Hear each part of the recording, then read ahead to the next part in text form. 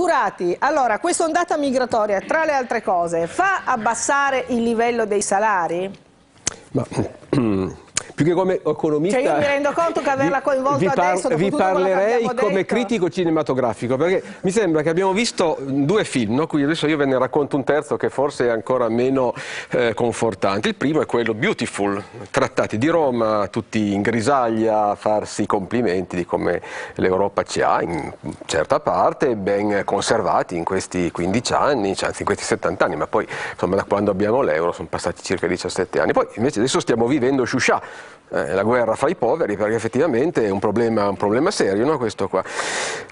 La questione è capire, da un punto di vista econometrico, se eh, ci potrà essere una ripresa della produzione e dell'occupazione. Che lei dice se in questo caso ce la siamo risolta Guardate, i modo, signori no? giustamente parlavano dell'immigrazione meridionale in Italia quando nel 1958 nacqui io il PIL italiano faceva più 7% all'anno, quindi questa era un'immigrazione richiamata. Fra l'altro, scusi, una parentesi, il PIL nel 57, cioè noi abbiamo fatto i 60 anni dei trattati di Roma, era 5,5%. Quel periodo lì Adesso ha fatto... è 0,9%. Quel periodo lì saliva dal, dal 5 all'8%. Quindi anche drogato. Saliva dal 5 all'8%, quindi così come negli Stati Uniti quando fu richiamata la prima ondata di immigrazione, perché di là il PIL era più 10% all'anno, avevano bisogno di, e quindi questa era un'occupazione che veniva richiesta in termini di immigrazione, quindi è chiaro che veniva assorbita molto facilmente perché c'era lavoro, si creava, si creava prodotto interno lordo, quindi questo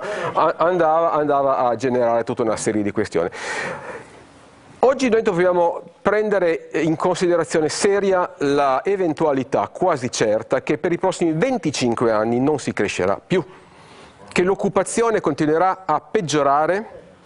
Uh, Bill Gates non più tardi di poche settimane fa ha implorato, l'ha fatto lui insomma, la tassa sui robot perché la stima è che nei prossimi 15 anni le macchine porteranno via il 15% dei posti di lavoro eh, nei paesi non particolarmente sviluppati, addirittura il 30% in quelli particolarmente sviluppati. Quindi questo per dire che eh, siamo di fronte a una prospettiva sia in termini occupazionali per motivazioni tecnologiche puramente, puramente tecniche, sia in certi paesi per motivazione economica, la delocalizzazione che molti paesi hanno creato, per esempio l'Italia ne è stato un caso tipico, cioè di andare a produrre fuori per poter essere più competitiva con i prodotti, ha generato un percorso di eh, disincentivazione all'occupazione che sarà probabilmente una strada senza ritorno. Oggi questo 11% che poi c'è più 0, meno 0, ma ormai è un dato che è doppio rispetto a sette anni fa e che sarà il dato migliore che ci si potrà aspettare nel prossimo prossimo futuro.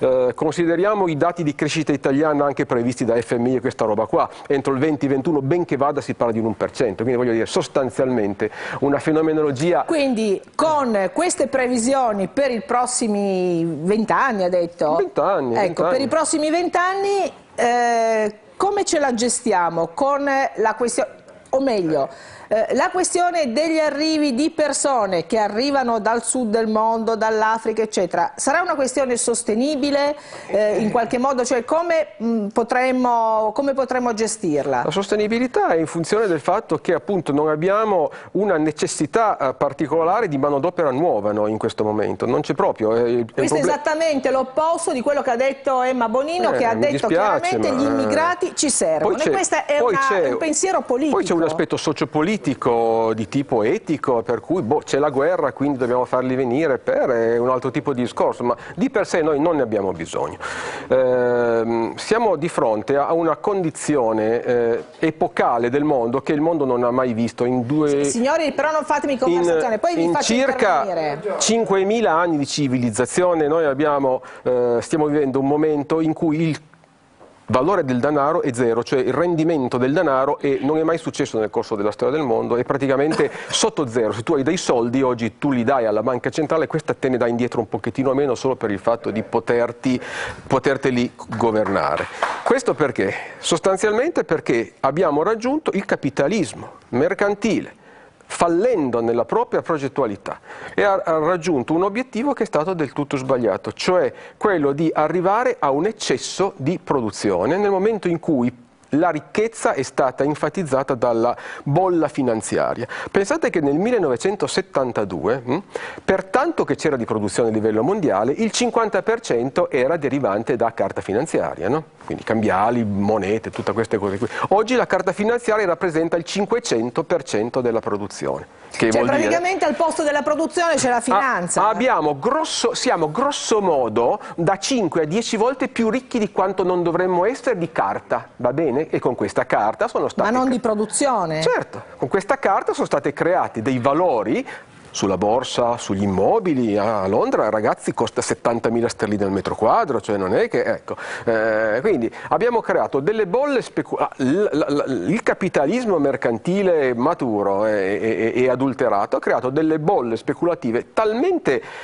fondamentali che eh, c'è solo da temere che non vengano giù tutte assieme, perché tenete presente che noi oggi abbiamo aziende capitalizzate quotate in borsa come la Google, come la Apple, che messe insieme queste due qui valgono come lo Stato italiano, se voglio dire, è un chip ragazzi, e la Google è un algoritmo, il giorno che arriva un algoritmo nuovo sta cosa qui vale zero, cioè veramente abbiamo raggiunto un livello di... Ma questa cosa è un'economia praticamente inconsistente, inconsistente, sostanzialmente. Tenete presente che nonostante Va bene, il 2008... Ma inconsistente con eh, il tipo di mercato e di economia italiana che invece era un'economia, e parlo un po' al passato, no? era un'economia del fare, era un'economia di prodotto come si sposa? Vi devo fare l'economista allora anziché il, critico cinematografico, lo faccio volentieri.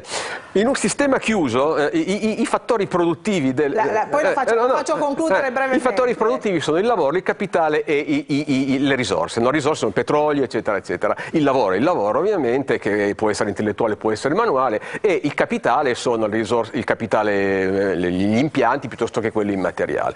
Nel momento in cui a livello europeo sostanzialmente si è chiuso chiuso no, questo sistema. Noi abbiamo avuto due competitori, grosso modo, l'Italia e la Germania. L'Italia è il primo manu eh, secondo manifattore, manufattore europeo, la Germania era la prima. Allora, in questi 15 anni eh, noi abbiamo avuto un incremento di produttività del 4%, la Germania del 20%, la Francia del 25%, cioè abbiamo perso il 15 e il 20% di produttività. La produttività che cos'è? È la produzione fratto numero per eh, eh sì, di addetti. anche no? senza sapere il fratto, ecco. voglio dire, eh, allora, i rapporti che lei ha citato vuol dire che ci abbiamo un po' perso. Perdiamo, ma noi siamo meno efficienti dai tedeschi, questo è inutile stare lì a dirlo, no? quindi abbiamo perso il 15% di produttività. Quindi siccome non è stato possibile svalutare la valuta, cosa abbiamo svalutato? Il lavoro. E infatti il lavoro degli italiani è sottovalutato rispetto a quello dei tedeschi del 15-20% nel corso Ma per tornare a bomba, la questione migratoria incide su questo? Ma non particolarmente, nel senso che incide perché viene a inserirsi in un contesto dove non c'è altra possibilità di poter sviluppare il Però fenomeno di lavoro. Però i signori che, eh, voglio dire, senza nulla togliere ovviamente ovviamente